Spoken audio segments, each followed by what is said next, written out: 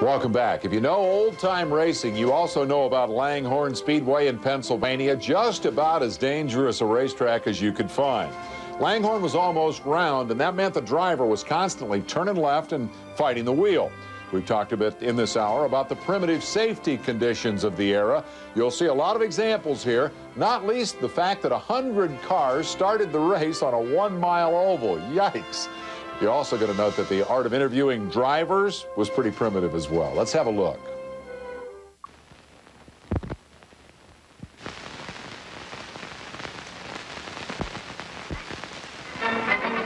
Today is the day of the Poor Man's Racing Championship. It's the 100-mile Sportsman Stock Car Finals for local champions who have come here from 14 states, from New England, Florida, and Nebraska.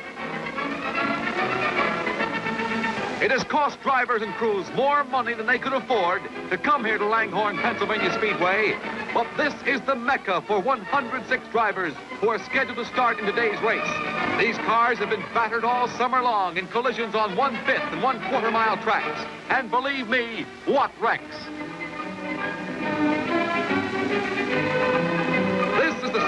Track at Langhorne, Pennsylvania. It's called the fastest mile in the world. The pit area is a busy place. These are not truly stock cars, but sportsman stock cars with souped-up motors. The bodies have been picked up in automobile graveyards. A track official tries to keep up with the unprecedented number of entries. Meanwhile, every hand is put to work, tuning up motors and wiring together the bodies. These drivers are hometown heroes, high point winners in the season's NASCAR-sponsored races on short tracks. Young speed demons like Wally Campbell here. Wally Campbell already has a crowd around him. Here's Russ Catlin preparing to interview him. On my left is Wally Campbell, a champion of sorts, right, Wally? That's right. Uh, where where do you hold your championship now, Wally? Uh, right now I'm leading points from the Grand National. Well, that's the grand Modified. That's uh, the, race the grand champion. And on my right is Pepper uh, Cunningham. Uh, uh, he expressed it a few minutes ago. I don't know why you want to talk to an old timer like me. Is that right, Pep? Well, uh, right here, I think you have the present and the past. Wally being the present, and I think I'm the past. Uh, Pep, haven't you won a race here? Yes, 1946, I won a 100-mile uh, championship race here, and in 48, I was second. Uh, Wally, uh, have you won a race here? I won last two. Uh, how are you setting today? I got the pole. That's right out front. Uh, now tell me something, fellas.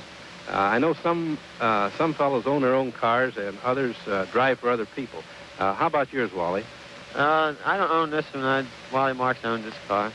Uh, you drive for him then. I drive. for Uh, Pepper, is it uh, more advantageous to own your own or to drive for somebody else? Well, Russ, in this day, you can't drive a car and own it and be very practical about it because you make too many race meets a week. And uh, it takes, the driver has to help. Don't get me wrong. I mean, it's, practically impossible for one man to keep a car up. It takes two. Because in the old days, we used to run one race a week on Sundays and work on the car all week. Now today, you run uh, five or six days or nights a week, and you have maybe one day free to work on the car. Campbell and Cunningham managed to make a good living at this perilous business. And it's back to work on the Cunningham car after the interview as Russ Catlin moves down the line of cars in the pits. Dick Egan? Where you from, Dick? Bristol, Connecticut, sir. Uh, Dick, you drive all kinds of automobiles, don't you? Yes, I've driven midgets, big cars, stocks, Uh, what do you do for a living, Dick? racing. You just race. Well, you're uh, listed as one of the old pros. Your car looks uh, rather Irish to me. Uh, are you Irish? Yes, slightly. And uh, my owner, mechanic, he's also Irish. Well, Duffy. this uh, Duffy and uh, Egan, uh, uh, by golly, we're going to have to get an O'Reilly in here someplace. Uh, what do you, uh, what kind of a motor do you have, Dick? This uh, what we call a Duffy engine. A Duffy engine? Yes. Uh, it's a V8 engine, modified, of course, internally. The veteran Dick Egan and Campbell and Cunningham, whom Russ interviewed earlier, are perhaps three in 3,000 of these drivers who are dyed-in-the-wool racing professionals. Tires and wheels are checked carefully because on this mile-long track, these cars will be going a lot faster today than they have on the short tracks. This wife's a good sport about it. But these stay safely behind the fence. Crews are doing all they can to prepare these cars for their longest and most important race. Everybody is tense. So it's get down, get under. Every driver and crew hopes to win today. And so the crowd begins to gather at the Langhorne Speedway for this World Series of the Souped Up Jalopies. Now it's time for the 106 starters to line up in order that they qualify. Fastest qualifying time was 85 miles an hour. B2's driver is Dick Linder of New Jersey. Wally Campbell, in number one, has the pole position. He goes through the window. Track officials check to see that all's clear, and mounted police look for spectators who might get into dangerous positions.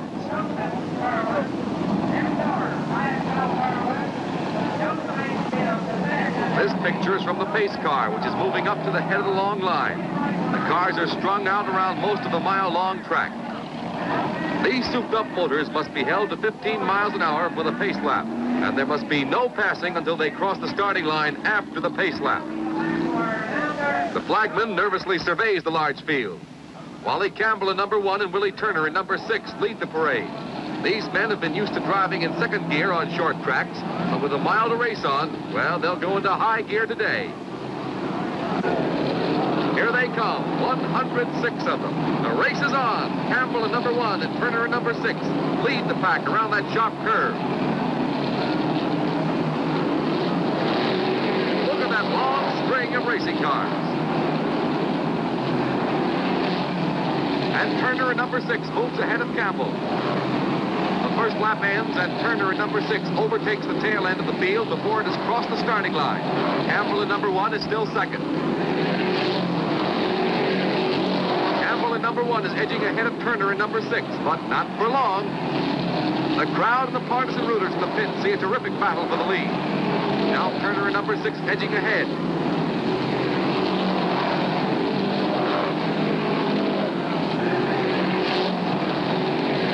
And now Campbell in number one. Watch them speeding among the cars like broken field runners in a football game. Turner the inside of the track and Campbell riding high. The veteran Wally Campbell is pulling ahead. The lead is his for sure now. Motor of number one that Campbell's so proud of is roaring ahead. McGrath in 54, Dick Linder in B2. They're bunching up now. Turner in number six is quite a way behind. These four can see cars begin to boil up. Some have had to quit already. This is not like the slam-bang races on the quarter-mile tracks. Making pit stops in droves. The crews jump into action. One puts in oil, another water. Pit crews stay back for safety because cars are pitting fast. Number 76 looks hot. Look out there, a geyser. It's all over for him. Careful there, boy. Back up. You've got to have a clean windshield. The race goes on past him. Preston Niblett in 22D wheels alongside Wally Campbell. Number one pulls on ahead and threads his way through the crowded track.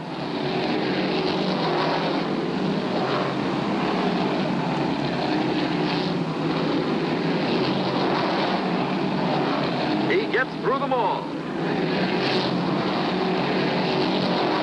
Now we have a new contender in the race, Frank Schneider in number 88.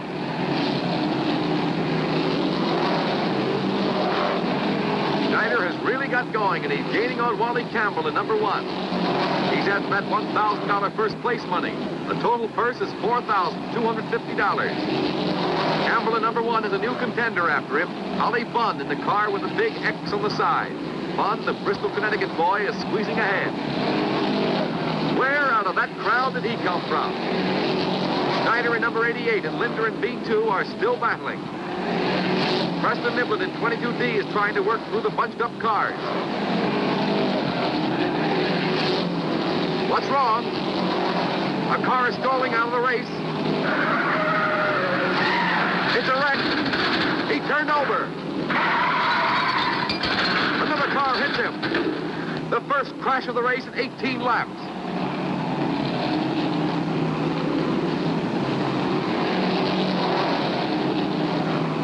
NASCAR official waves the yellow caution flag. The cars slow down. Driver John Steppen of Newark, New Jersey is hurt. Another comes to help him. An official runs to help too. The pace car flies a red and yellow flag. The racers must follow slowly in single file until the track is cleared. There goes the wreckage of Stevens' car. He's painfully but not seriously hurt. Last of the wreckage is cleared away for resumption of the race.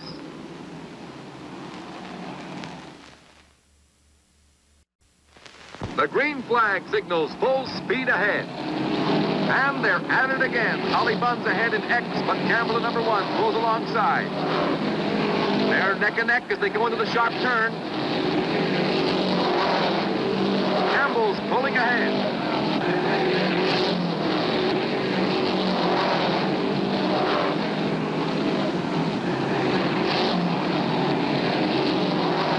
Wally still in the lead as they come past the grandstand.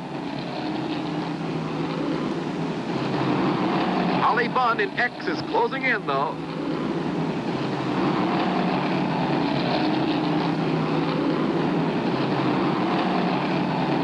Watch this battle around the curves of this circular track. X is ahead.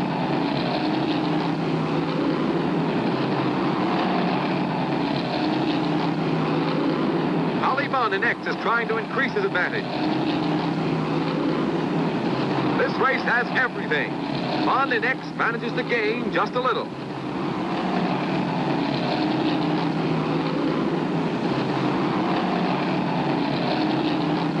Wally Campbell in number one is pulling up on Bunn in X. And ahead, now Bunn comes up. And Bunn goes into the lead.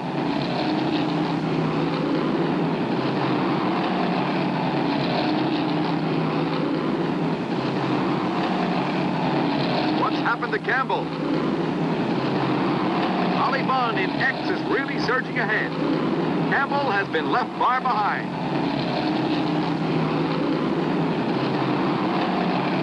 Here comes Campbell in number one. He's in trouble and has to pit. His crew doesn't waste a second. Same old geyser trouble. And oily dust on the windshield. Meanwhile, Holly Bunn in X is gaining all he can and lapping every car in sight. He passes two at a time. But Wally Campbell is now in the race, not by a long shot. Anything can happen.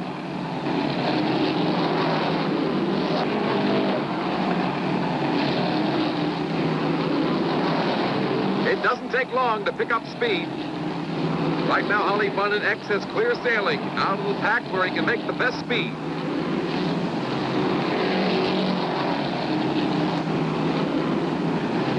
But trouble is dogging Wally Campbell. He's back in the pits before he can really get going. The pits are still swarming with activity. Look at the oily dirt in the mesh in front.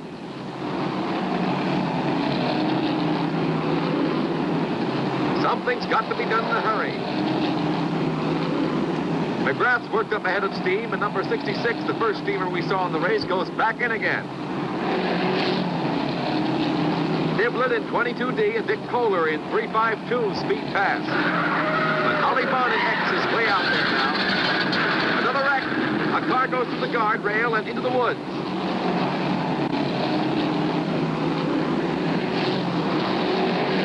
The driver's okay. He waves to the anxious spectators. Campbell's going strong again. And Bunn in X is the man Campbell's after. A car is stalling. There's a fire in the pits.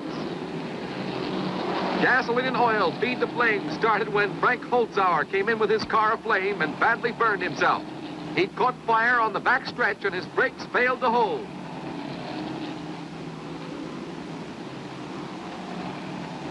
Say those men are going in after another car. Will they make it?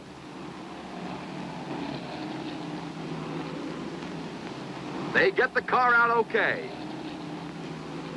The red flag stops the race. Drivers can't see for the smoke. Firefighters have acted quickly, but keep their distance. Flames from an explosion burst high in the sky. The blast is terrific. Flames reach the fuel tank. Firefighters are doing their best to get the flames under control. Can they succeed so the race can be resumed? Well, we'll see.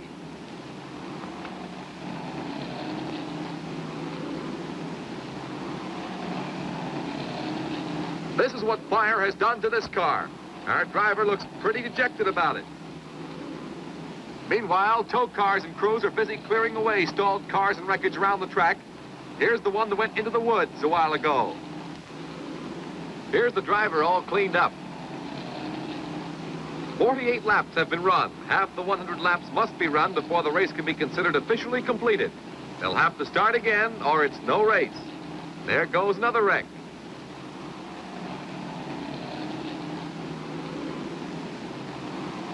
They're going to start again. They're all lined up as nearly as possible in the order they stop. Official checkers have been counting the laps of each car. That's veteran Dick Egan on the right. He's replacing Holly Bunn at the wheel of X.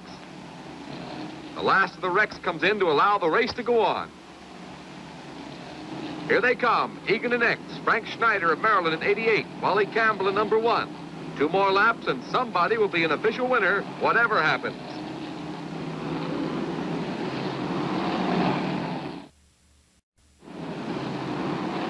They're off again. Egan and X is keeping the lead. Now Campbell at number one is pulling ahead at 88. Campbell at number one has second for sure now, but he has to gain five laps to overtake Egan. Well, that's possible. Egan's experience will be tough to beat, though. Schneider in 88 hasn't given up, and he's gaining. He's even with Campbell in number one. This battle has been going on all afternoon.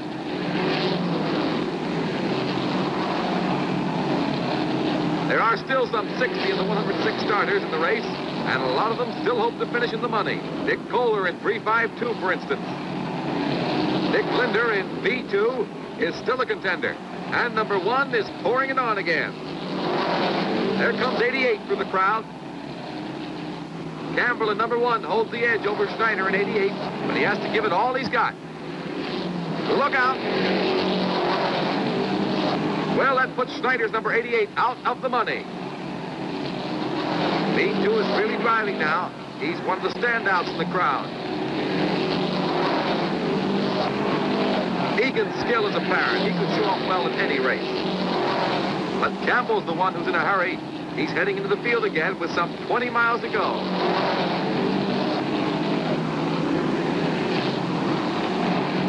Look at him taking everything in his way.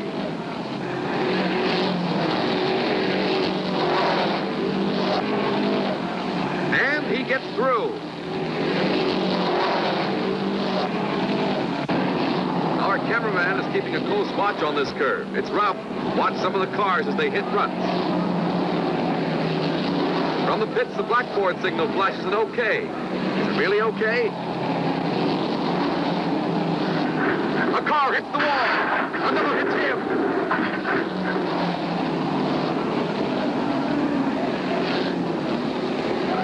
He's heading for the wreckage. It's Wally Campbell. He's spilling gasoline. Wally Campbell still in the burning car.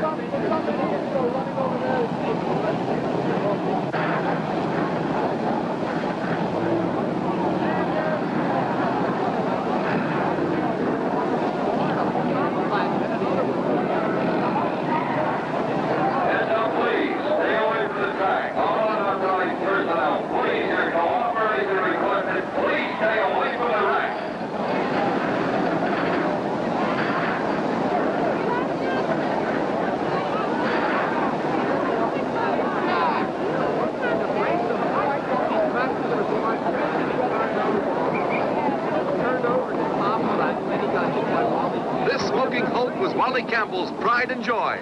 Fire has ruined it now. The race is over, of course, at 83 miles. Wally Campbell is given second place behind Dick Egan in number X. Down there, 10 cars are piled up. Ladies and gentlemen, this is the most spectacular wreck ever photographed in an automobile race. The driver of the car which first hit the wall, Don Black, has escaped with a compound fracture of the leg. You saw Campbell get out of his flaming car and go scot-free. Some of the others have been bruised, and that's all. Why did cars keep on piling into this mess? Well, some 50 of them were still in the race. Things happened so fast that they could not be warned in time. And driving in bunches, they sped around the sharp curve to be confronted by fire and wreckage. Some got through, some didn't. The drivers themselves can't really explain it.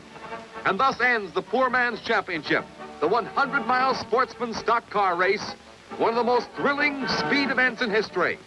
Veteran Dick Egan receives the trophy in the gathering dusk at Langhorne Speedway.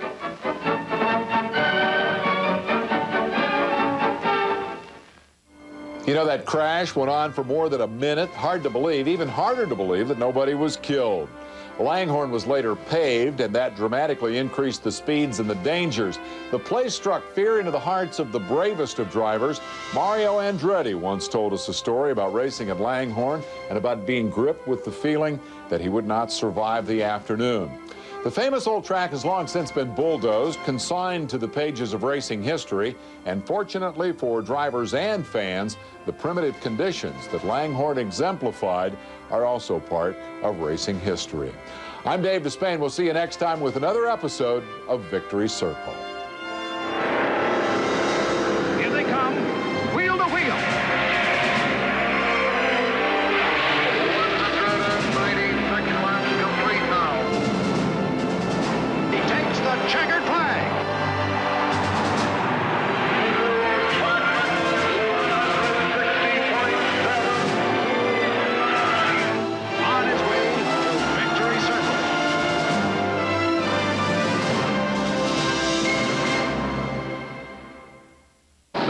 Goes on past him.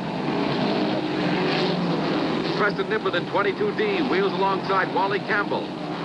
Number one pulls on ahead and threads his way through the crowded track.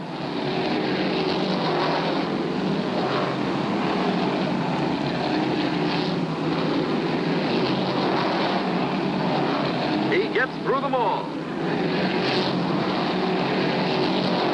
Now we have a new contender in the race, Frank Schneider in number 88.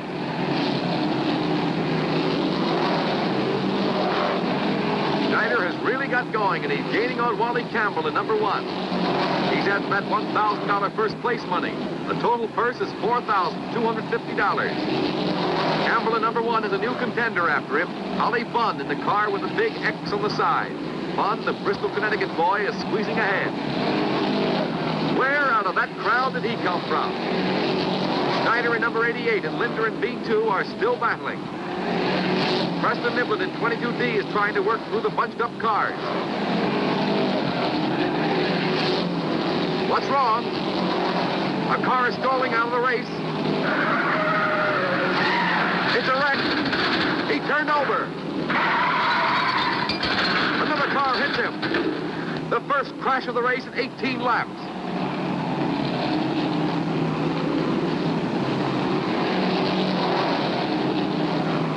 The NASCAR official waves the yellow caution flag. The cars slow down. Driver John Steppen of Newark, New Jersey is hurt. Another comes to help him. An official runs to help, too. The pace car flies a red and yellow flag. The racers must follow slowly in single file until the track is cleared. There goes the wreckage of Stevens' car. He's painfully but not seriously hurt. The last of the wreckage is cleared away for resumption of the race.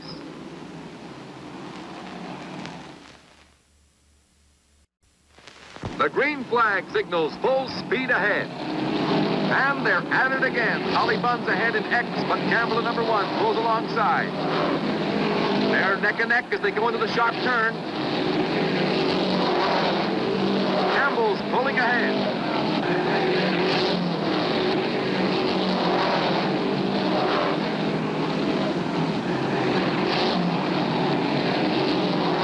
Wally still in the lead as they come past the grandstand.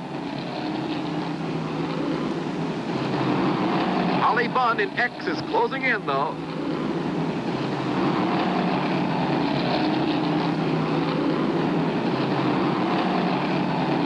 Watch this battle around the curves of this circular. The pits are still swarming with activity. Look at the oily dirt in the mesh in front.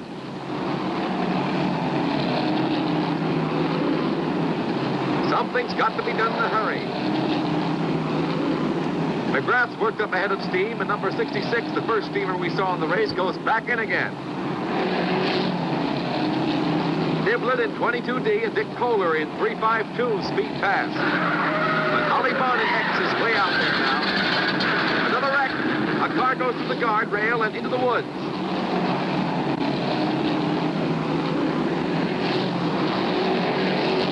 The okay. He waves to the anxious spectators. Campbell's going strong again.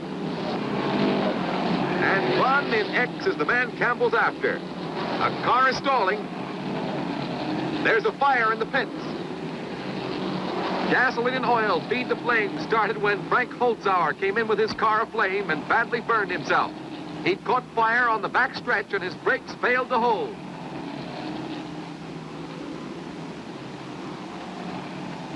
Say those men are going in after another car. Will they make it?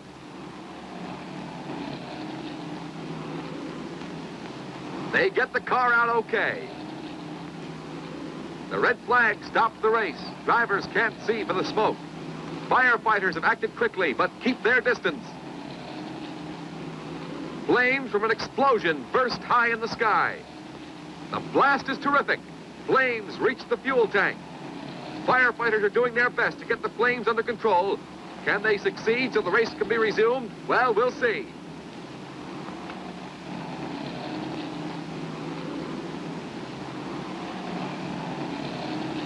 This is what fire has done to this car. Our driver looks pretty dejected about it. Meanwhile, tow cars and crews are busy clearing away stalled cars and wreckage around the track. Here's the one that went into the woods a while ago. Here's the driver all cleaned up. 48 laps have been run. Half the 100 laps must be run before the race can be considered officially completed. They'll have to start again or it's no race. There goes another wreck.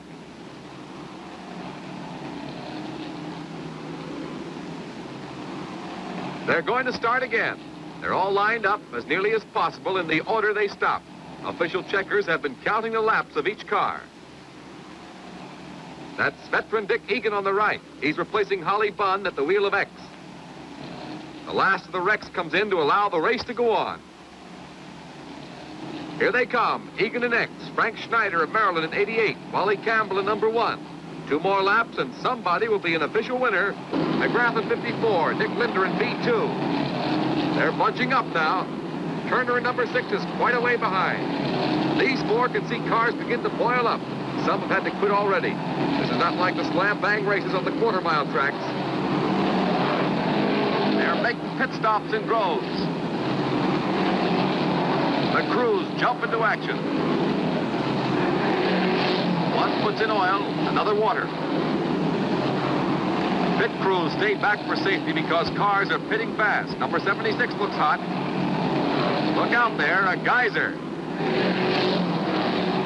It's all over for him. Careful there, boy. Back up. You've got to have a clean windshield. The race goes on past him. Preston Niblett in 22D wheels alongside Wally Campbell. Number one pulls on ahead and threads his way through the crowded track.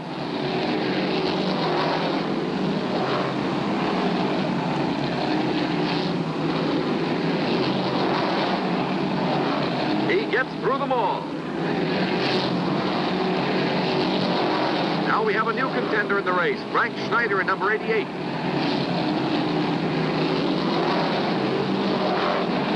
Schneider has really got going, and he's gaining on Wally Campbell in number one. He's had that $1,000 first place money.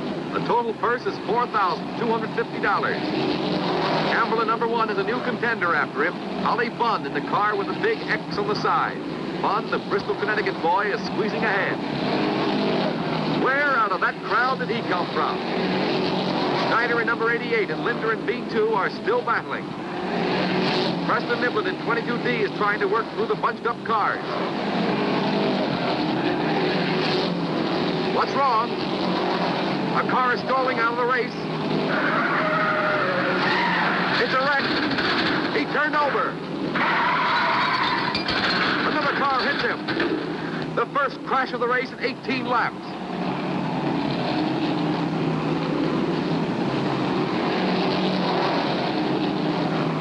The NASCAR official waves the yellow caution flag. The cars slow down.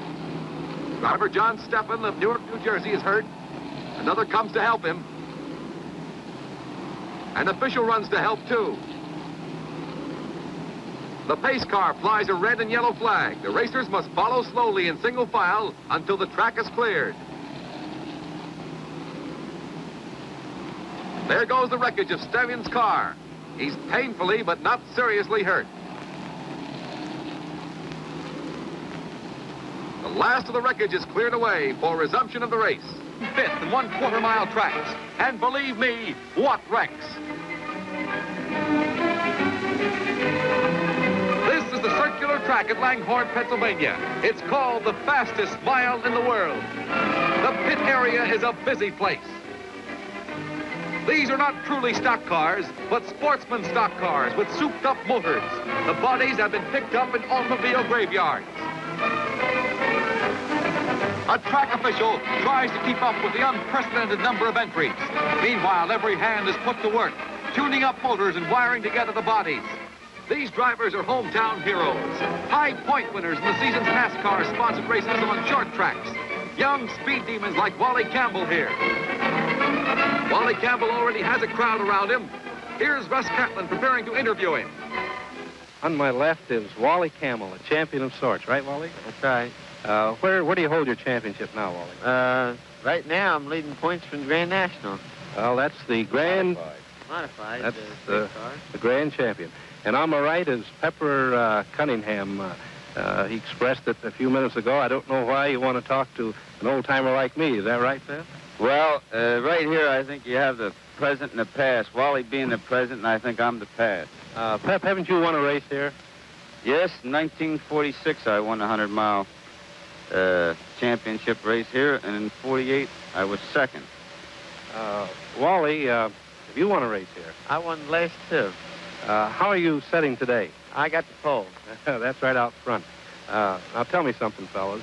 Uh, I know some uh, some fellows own their own cars and others uh, drive for other people. Uh, how about yours, Wally?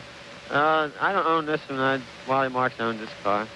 Uh, you drive for him then. I drive it. Uh, Pepper, is it uh, more advantageous to own your own or to drive for somebody else? Well, Russ, in this day, you can't drive a car and own it and be very practical about it because you make too many race meets a week. And uh, it takes, the driver has to help. Don't get me wrong. I mean, it's, it's practically impossible for one man to keep a car up. It takes two. Because in the old days, we used to run one race a week on Sundays and work on the car all week. Now today, you run uh, five or six days or nights a week, and you have maybe one day free to work on the car. Campbell and Cunningham managed to make a good living at this perilous business. And it's back to work on the Cunningham car after the interview as Russ Catlin moves down the line of cars in the pits. Dick Egan? Where you from, Dick? Bristol, Connecticut, sir. Uh, Dick, you drive all kinds of automobiles, don't you? Yes, I've driven midgets, big cars, stocks, Uh, what do you do for a living, Dick? racing. You just raced. Well, you're uh, listed as one of the old pros. Your car looks uh, rather Irish to me. Uh, dangerous a racetrack as you could find. Langhorne was almost round, and that meant the driver was constantly turning left and fighting the wheel. We've talked a bit in this hour about the primitive safety conditions of the era. You'll see a lot of examples here, not least the fact that 100 cars started the race on a one-mile oval. Yikes. You're also going to note that the art of interviewing drivers was pretty primitive as well. Let's have a look.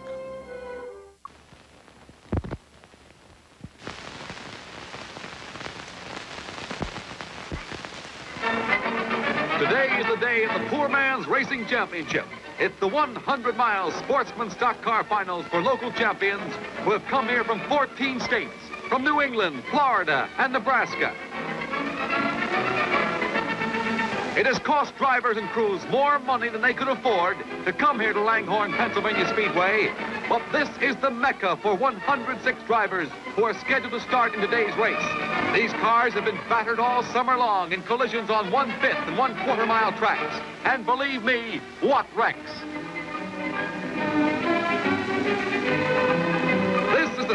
Track at Langhorne, Pennsylvania. It's called the fastest mile in the world. The pit area is a busy place. These are not truly stock cars, but sportsman stock cars with souped-up motors. The bodies have been picked up in automobile graveyards. A track official tries to keep up with the unprecedented number of entries. Meanwhile, every hand is put to work, tuning up motors and wiring together the bodies. These drivers are hometown heroes, high point winners in the season's NASCAR-sponsored races on short tracks. Young speed demons like Wally Campbell here. Wally Campbell already has a crowd around him. Here's Russ Catlin preparing to interview him. on my left is Wally Campbell, a champion of sorts, right, Wally? That's right. Uh, where, where do you hold your championship now, Wally? Uh, right now I'm leading points from Grand National. Well, that's the grand, Modified. That's, uh, big car. the grand champion. And on my right is Pepper uh, Cunningham. Uh, uh, he expressed it a few minutes ago. I don't know why you want to talk to an old-timer like me. Is that right, Pep? Well, uh, right here, I think you have the present and the past. Wally being the present, and I think I'm the past. Uh, Pep, haven't you won a race here? Yes, 1946, I won a 100-mile uh, championship race here, and in 48, I was second. Uh, Wally, uh, have you won a race here? I won last two. Uh, how are you setting today? I got the pole. That's right out front. Uh, now tell me something, fellas. Uh, I know some uh, some fellows own their own cars and others uh, drive for other people. Uh, how about yours, Wally? Uh, I don't own this one. I, Wally Marks owns this car. Uh, you drive for him then. I drive for him. Uh, Pepper, is it uh, more advantageous to own your own? 5-2, for instance. Dick Linder in B2 is still a contender. And number one is pouring it on again. There comes 88 through the crowd. Campbell in number one holds the edge over Schneider in 88, but he has to give it all he's got. Look out. Well, that puts Schneider's number 88 out of the money. B2 is really driving now. He's one of the standouts in the crowd. Egan's skill is apparent. He could show up well at any race. But Campbell's the one who's in a hurry. He's heading into the field again with some 20 miles to go.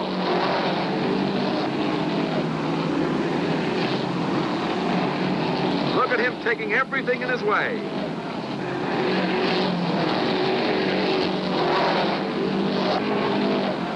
And he gets through. Our cameraman is keeping a close watch on this curve. It's rough. Watch some of the cars as they hit ruts. From the pits, the blackboard signal flashes an okay. Is it really okay? A car hits the wall. Another hits him.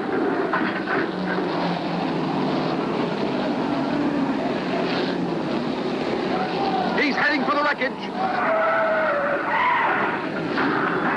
It's Wally Campbell. He's spilling gasoline. Wally Campbell still in the burning car.